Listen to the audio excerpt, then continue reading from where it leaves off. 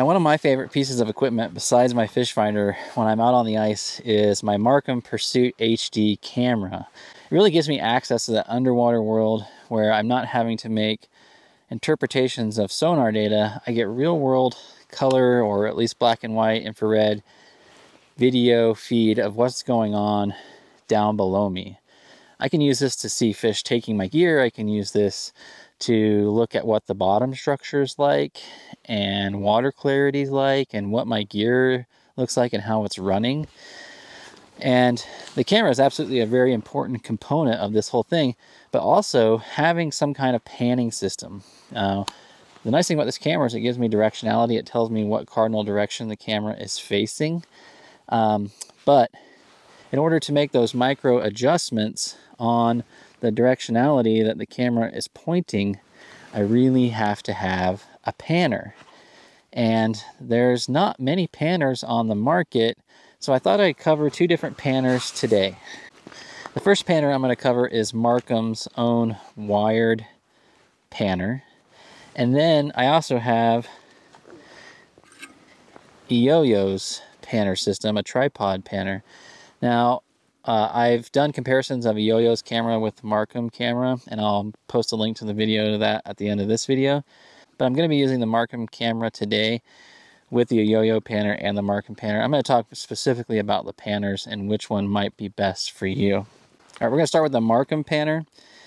It has a 9 or 10 foot long wire cable. They make a remote controlled one.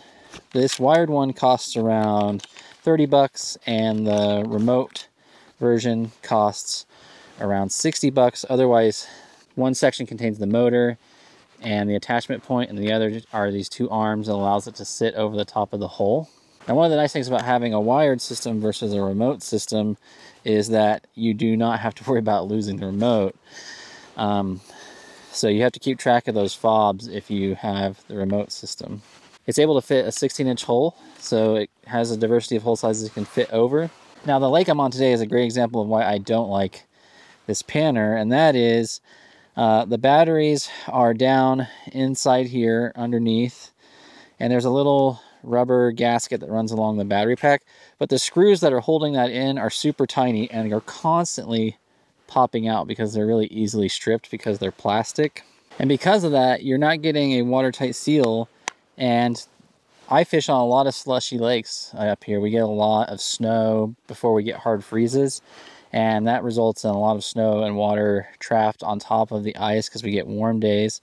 And uh, if I put this down in the water, I'm just going to get water in the battery compartment. So I have to like build up a little snowbank around the hole during situations like this uh, in order to prevent that thing from just getting totally soaked, which is kind of a nuisance.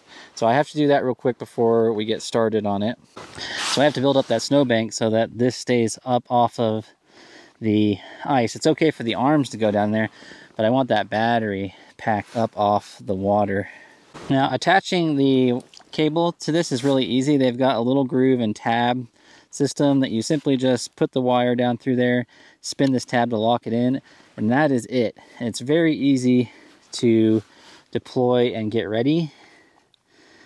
So I've got that down there.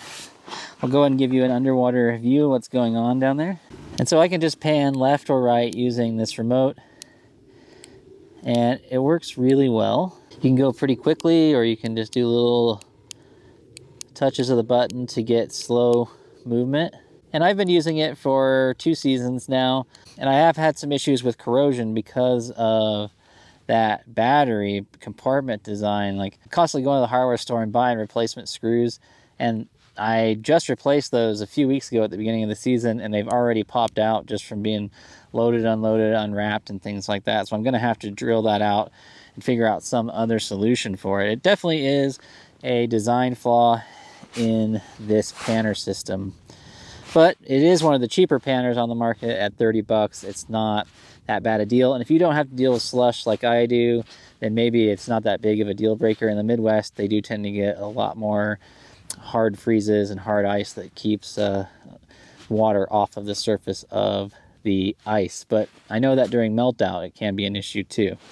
Now, one of the good things about the Marcum Panner is that it does fold down to a very compact size. You can wrap the cable up, or if you have a remote, uh, you just clip the remote back on there. And it's very compact and easy to transport, so it doesn't take up a ton of space in my sled. Okay, now the other panner system I'm going to use today is the uh, Yo-Yo panner. Now, Yo-Yo makes really affordable underwater cameras that are incrementally getting better and better and better. They're based on like a small suitcase design. I've done reviews on them.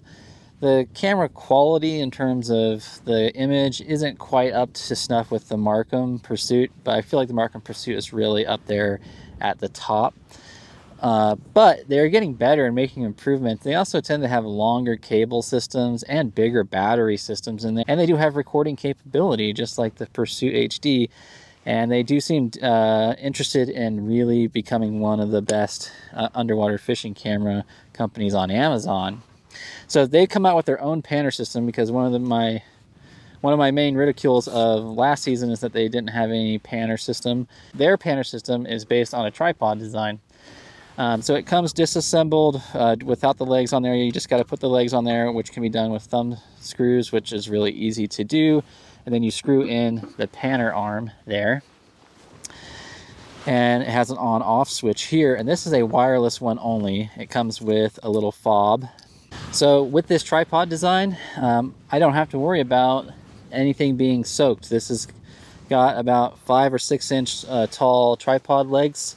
Additionally, unlike the Marcum, which requires a screwdriver to gain access to the battery compartment, this one's very easy. It's just a common sense uh, battery compartment that takes uh, AA batteries. The top of this tripod is designed uh, for their fish finders to sit on top of. But obviously I'm not going to use that today because I'm using uh, my Pursuit attached to my Helix shuttle. But this is still a nice space that you can utilize for something. So if you're not going to put a camera there, you can think about other things you might put there too. You can put camera systems um, for GoPros and things like that. Um, or you can glue maybe a little tackle kit on here. There's a lot of options here in terms of being creative about using this space. So enough blabbing. Let's uh, get this thing down there. I don't need all this snow adjacent to the hole anymore. But I think, you know, having all this slush is a great example of why a panner like this one's going to pan out, no pun intended, a little bit better today. So in order to put the cable on here, it's fairly easy. Make a loop, go around that fork, and then just run the cables down inside. It's very simple and stable. It's not going to slip. Then all I gotta do is just set this over the hole. Now it's designed for holes up to 10 inches, but it works best with eight and under. So now that I've got that deployed, they have a little fob that comes with it. And it's just a matter of, then we gotta turn on the on switch, and then it's very easy to simply turn the panner. Now their panner turns slower and it's less herky-jerky. I actually like the motion. If you see here on the footage. You see how nice and slow the panner turns. Now both of these panners will eventually, if you keep trying to rotate them in one direction, they start to bind up on themselves. And the Yo-Yo and Marcum are both alike in this feature. They seem to have like, once you get initially deployed, they have about a 350 degree of motion that they can do really relatively smoothly and then they start to bind up on the wire as the wire starts to turn and get cranked up.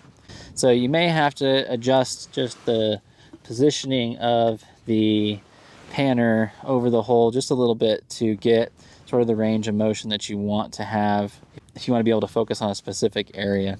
Now the Yo-Yo panner retails for closer to $70, so it's the most expensive one. However, I do feel like the Yo-Yo panner is a slightly better panner for these situations that I'm in where we've got a lot of standing water on the surface. I really don't have to worry about this unit. It's solid metal. I feel like it's going to last a long time, seems very durable. I'll put links to both of these panners, and if you have any additional questions, please let me know, and I'll come back and revisit these panners at the end of the season and just kind of let you know how they've held up over the entire ice season. All right, guys, I'll see you next time out on the ice. Just remember, fish smarter, not harder. Bye, guys.